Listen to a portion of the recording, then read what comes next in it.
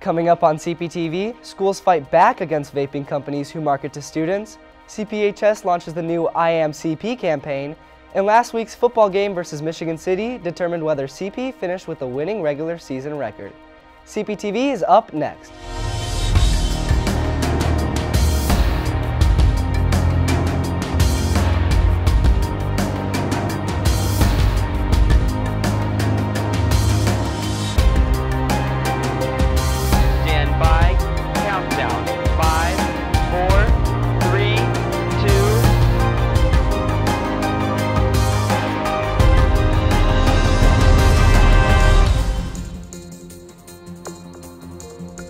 Hi, I'm Sarah Frey. And I'm Zach Jones. Welcome to CPTV. Kirsten Robinson will have your five day weather forecast, and Ramsey Harkness will bring us CP sports highlights. Here's what's happening at Crown Point High School.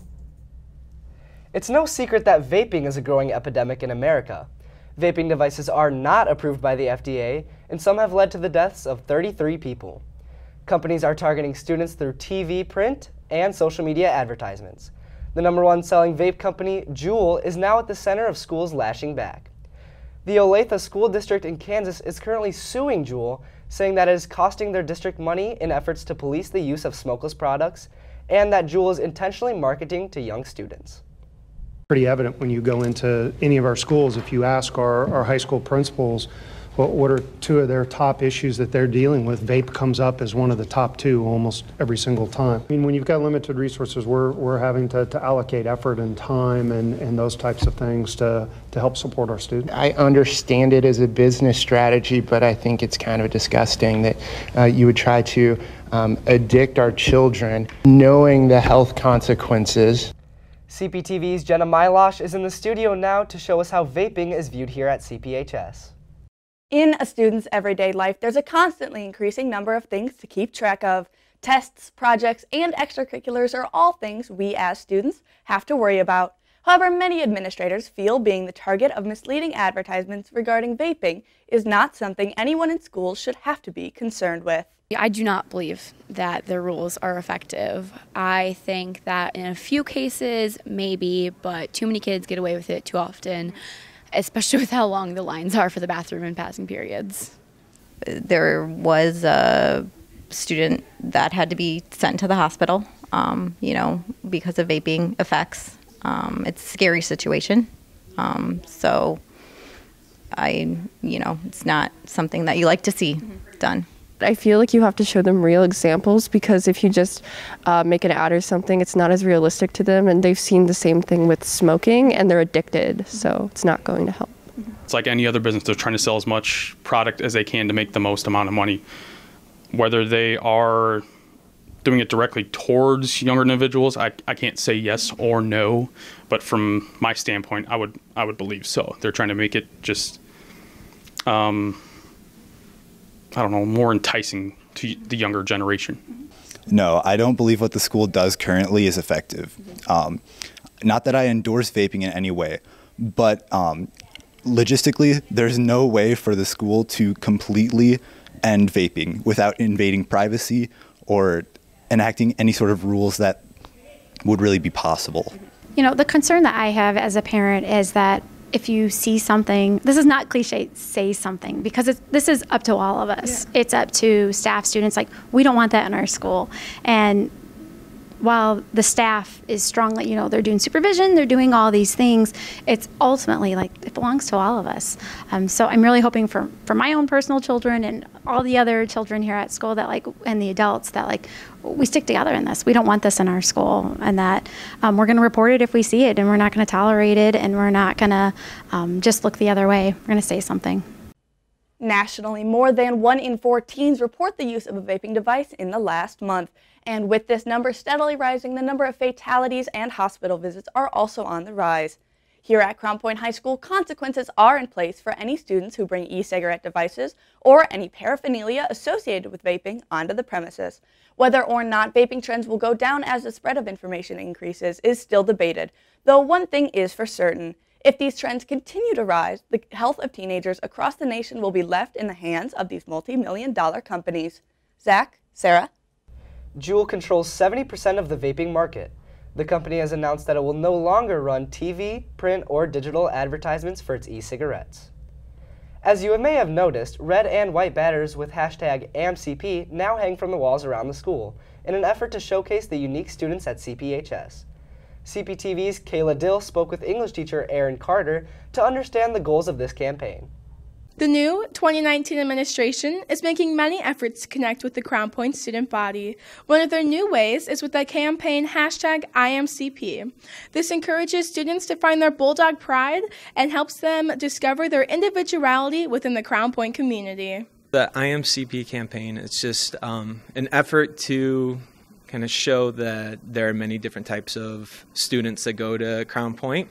Uh, so I don't know if um, there's that typical student that people think represents Crown Point, but the I Am CP is just to show that there are many different types of, of students. The idea is that students can use it in all different types of contexts, and um, at the end, it'll just show that, hey, there's not just one type of student at Crown Point, that Crown Point's pretty diverse. Regardless of how you see yourself in the Crown Point community, we can all acknowledge that we have our own Bulldog pride. For CPTV, I'm Kayla Dill. CPHS has introduced a new parking policy in which students are permitted to park in either lot, rather than having both a junior and senior lot. Here is CPTV's Ryan Costello with more.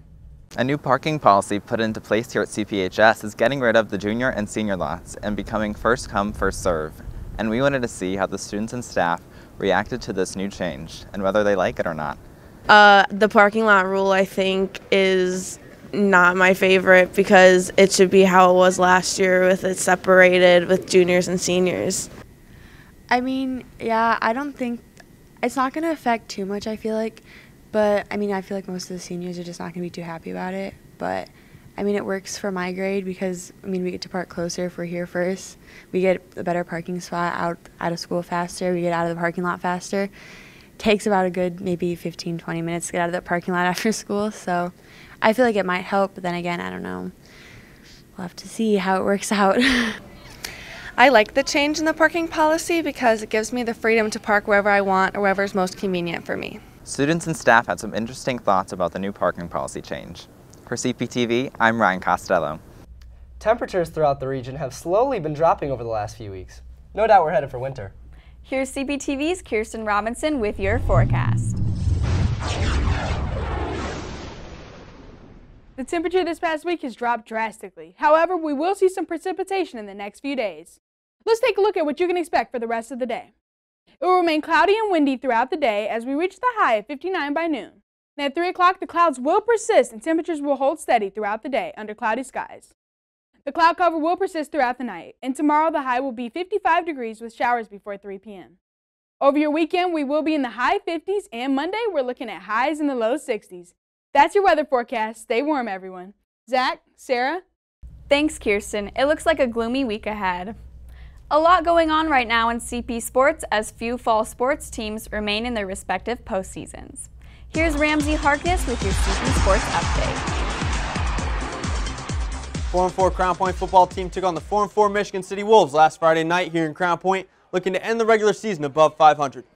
CP went up quick on the Wolves, 14-zip in the first quarter on junior running back Matthew Walters' 85-yard touchdown run and junior quarterback Will Pettit's 55-yard touchdown pass to senior wide receiver Tyson Casey. The Michigan City Wolves and head coach Phil Mason made adjustments in the second quarter to get two scores and head into the half, knotted at 14. In the third quarter, Pettit threw a jump ball 34 yards downfield, which fell right into David O'Toole's hands as he dove across the goal line, putting the Dogs up 21 to 14. Wolves junior Jonathan Flemings scored midway through the fourth quarter on a one-yard run up the gut, tying the game at 21. But fear not, the Dogs would eventually score again late in the fourth, putting the Bulldogs up 28 to 21 on a 53-yard touchdown pass from Pettit to seal the win and allow the Dogs to end the regular season with a winning record of 5 and 4. CP is off this week for the first round of sectionals, but will travel to Lake Central a week from Friday for the sectional semifinal against the 3 and 6 Indians. The Crown Point volleyball team continued their hot streak and won their eighth consecutive match in a row, this time against the Valparaiso Vikings for the sectional championship. The Lady Bulldogs didn't drop a set, winning three straight 25 to 12, 25 to 16, and 25 to 15, advancing to 28 and 6 on the season.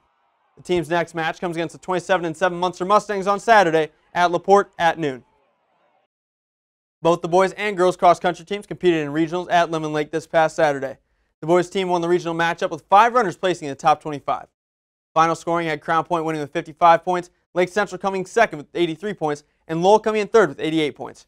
Juniors Quentin Bach and Cole Simmons placed third and fourth respectively with times of 16 minutes and 38 seconds and 16 minutes and 50 seconds. The girls placed third behind Lowell and Lake Central, topping CP's 59 points with 43 points and 46 points respectively. Senior Maddie Russin finished second with a time of 19 minutes and 27 seconds, and junior Jalen Burgos finished third with a time of 19 minutes and 34 seconds. The boys and girls teams will both be advancing to semi-state at New Prairie High School at 10.30 a.m. And that's it for sports. Picture retakes will be this Friday in the community room from 7 a.m. to 3 p.m. Yearbooks and senior ads are currently on sale through the CPHS website. The Interact Club is hosting their annual Halloween Dodgeball Tournament next Tuesday. Teams can sign up 6 to 8 players costing $5 per person. Costumes are encouraged. Here's a reminder that next Wednesday we will have a half day for all students, so CPTV will air on Tuesday during resource. That's it for today's show. Thanks for tuning in and being with us. Remember, you can view all of our past episodes on crowntownmedia.com. You can also follow us on Twitter at Crown T Media. For Ramsey Harkness, Kirsten Robinson, and all of us here at CPTV, I'm Zach Jones. And I'm Sarah Frey. Take care.